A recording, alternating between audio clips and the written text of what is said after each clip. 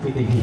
Ya, nah gitu. Jadi 45 mobil ditambah ada juga komunitas asli, komunitas lokal eh, warga dari Sumatera Barat, teman-teman komunitas Vespa yang tadi eh, ada di sana. Ya. Festival pedating nanti pedatingnya sudah habis. Jadi untuk ibu-ibu, terutama Dharma Wanita, Provinsi Papua Barat, Provinsi Halmahera Selatan, tanda dimulainya kejuaraan. Jadi program Lintas Katulistiwa ini memang diselenggarakan oleh Kementerian Pemuda dan Olahraga dalam rangka menggerakkan unsur pemuda, olahragawan dan juga pramuka bersama dengan masyarakat untuk memolahragakan masyarakat dan masyarakat olahraga.